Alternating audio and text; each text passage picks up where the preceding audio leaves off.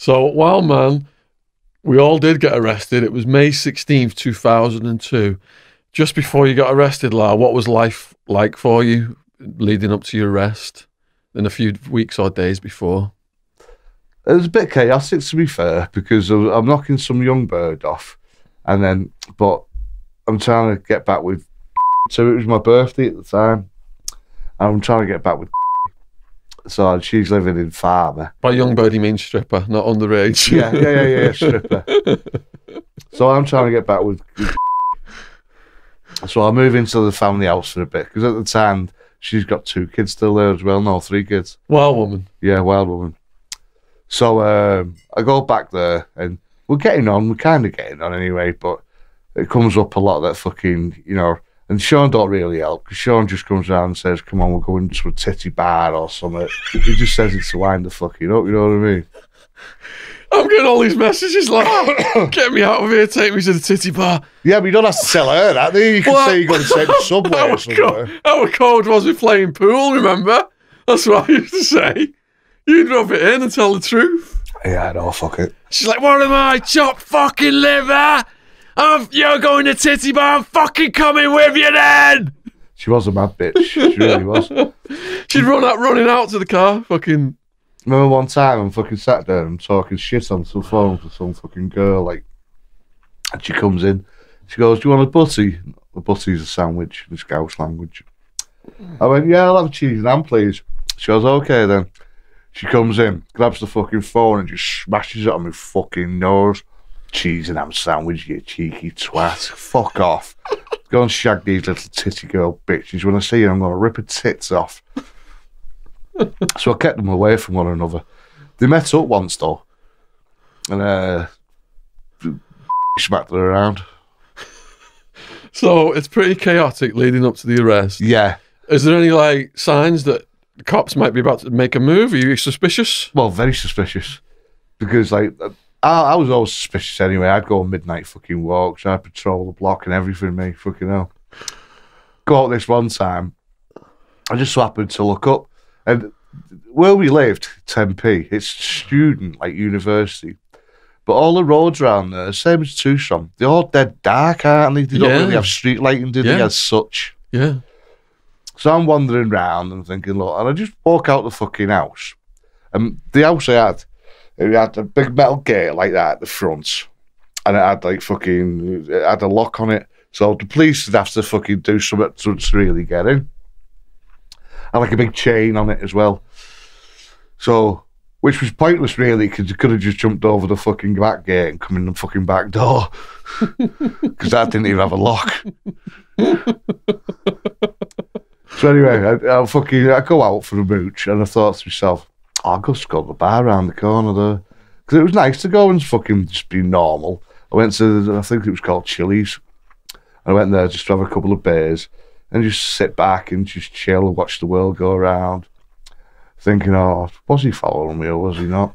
I had this long fucking thing about Mexicans following me, and all it was, it was like I was up early in the morning walking round, and all they were actually doing was guarding us. They're in a white van.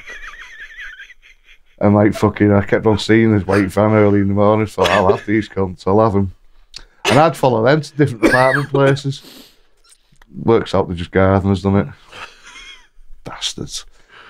So I'm scoping them out too. I'm sat on the fucking wall, like fucking looking around like that. Thinking, I'll have him.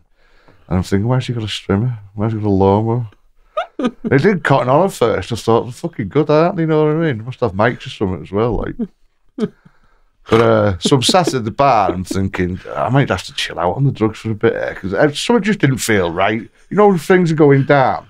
You know, when you're supposed to go and collect money and everyone's disappearing, you don't know where the fucking hell they are. the last scene at fucking HMP, fucking whatever, or last scene fucking at the mums and then just disappeared. So, like, no one was turning up with debts. No one was really turning up anywhere. Everywhere was, apart, apart from people being around, they would just sort of like go on fucking vacation. So we definitely thought there was something up. Really did think there was something up. But what really gave it away when I come back from the fucking bar after a couple of pints, I just looked up and went, all right, It's a guy in the telephone pole, right? Swear to fucking God, God's honest truth. He's up in the telephone pole up there. He's got like this fucking belt on. No fucking tools whatsoever fucking ever.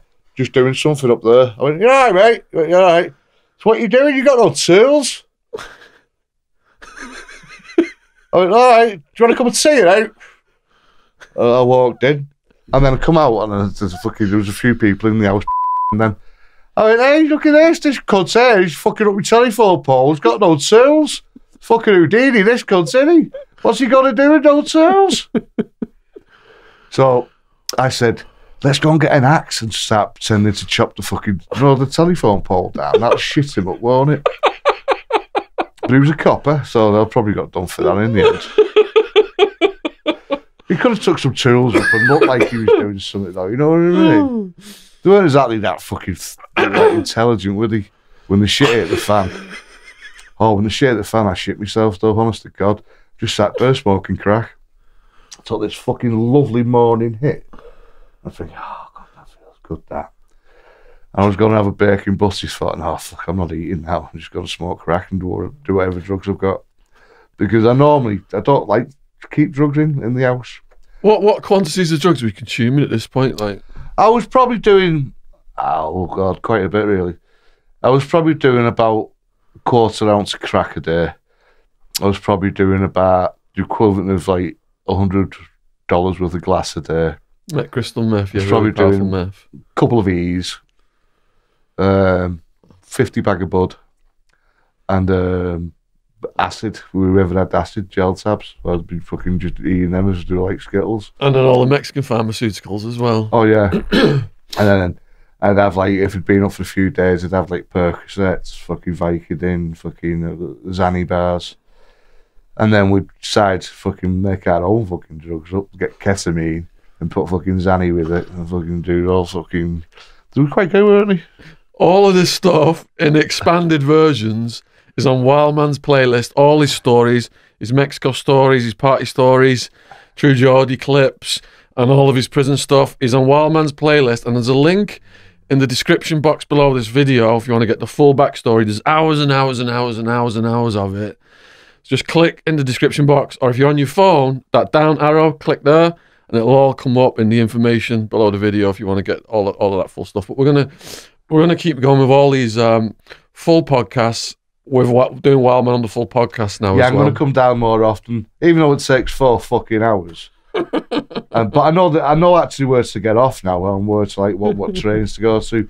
I'm walking around Waterloo like Paddington fucking Bear with a note. How do I get here? Excuse me. And I'm asking total foreigners. They haven't got a fucking clue. I went round three times. This guy said, "Oh, you go that way. Oh, you go that way." Kept going back there the same fucking way.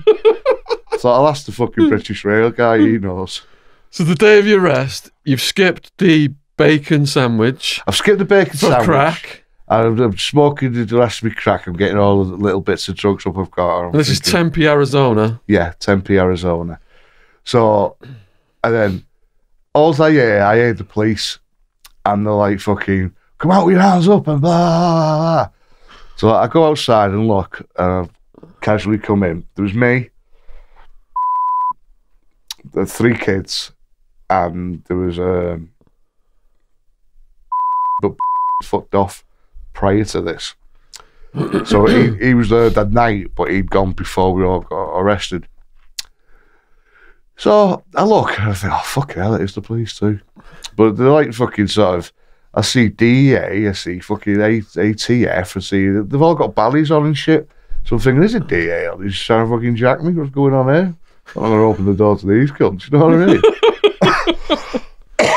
It was a multi-agency investigation. You come at the gate, and I thought they're not going to get through that gate. The fucking biggest pair of bolt cutters I've ever seen in my fucking life. It just the gate just fucking went like fucking straw. You know what I mean? Clink, clink, clink, going in. get out, hands on the ground, fucking down on the floor. and one of them come over and said, "Are you all right, Peter?" And I went, "Yeah, why?" This is a fucking this is a mistaken identity, some shit. This is what's going on. And he's like, "You'll find out. You'll find out soon enough. As long as you're all right, though." He didn't take it. There was him and two others with masks on. Now I don't know whether they would been they were being undercover or whether they'd been in our organisation and just like to find out what was going on. But it, it just felt funny they'd call me by my name. Know what I mean? Well, I read all the police reports, and what happened was they had approached people saying that they were from out of town and they wanted to buy our pills. And then the old out of town routine, we were familiar with that. Yeah, yeah, yeah. So in the court documents, they said they could not infiltrate the organization because we were too close knit, and we always like would re- re- reject them if they said they were from out of town. And that's how they authorized the judge to listen to the phone calls. Remember them two guys? Must have been shady thinking about it now. But I tried to set the deal up. They wanted like thousands and thousands of pills, but we didn't know them from fucking Adam. And they were like pretty big fucking like weightlifting guys type of guy, but like we didn't know him from Adam. But thinking about it now, they had Probably them. they had like cop wrote all over them. Yeah, yeah. It's all all in the paperwork. They did they did try to do that multiple times. So I'm thinking, oh fucking hell, this has come down. By this time now, fucking me crack eyes gone. Thinking I should have had me bacon fucking bussy. they put us in a van, and then we don't go too far up. We go up to Tempe. Uh, uh, we're in Tempe, but we'll go a little bit further up near where the um, the bus stop was around there, and they had a big white fucking unit. They set up a unit just for our arrest, hadn't Yeah, away from everyone else. What had actually happened was they arrested all of us simultaneously. It's a big fucking word, isn't it? But I couldn't spell it. They come at us. They got some people on the fucking highway, just like literally driving. And now you think, oh, I'm getting followed there. You see it all the time in movies. They actually fucking was. Cody Fucking Bates was on down. it. Cody Bates, um, dead now. You can Google it. Died in a Scientology rehab. He was driving on the motorway. He said he'd been seeing helicopters a lot. He thought he was in Goodfellas and all this shit. He was tripping. But as he's on the motorway, and police, bikes, motorbikers, he got completely surrounded by all these police motorbikes, his car, and they just fucking took him off I wouldn't mind though, but the freeway. like, probably about two months before all this happened, Shaun got out the game. He, he knew what was happening because he, was just like basically, would they come for you? You you were fucking on your bird, weren't you? didn't have any drugs at all. No. My bird had like said like you got to fucking chill, and um, it- yeah, it had been almost a year. And also, found, I think, because I remember talking to call her yeah, Claudia. Claudia, yeah. Girl. James is gonna have to make some adjustments. talking to Claudia, and she was she was like, "Wait, there's a ghost outside." And they obviously tried to that was my frighten the- girlfriend. She's obviously trying to frighten the girls more. So I'm like, "Oh, you're all right," and like little scouse mouse, like, "Oh, they've got fuck all on his fucking fucking Wild tits. woman. These are fucking. They don't know what the fucking hell they're about." Search my house, they haven't found fuck all. Mind you, they wouldn't with this fucking fat bastard here. He does all the fucking drugs. I'm like, shut up, will you now? Where's fucking Sue in it? I said, well, good job I did it. Good job I cleaned house. You know what I mean?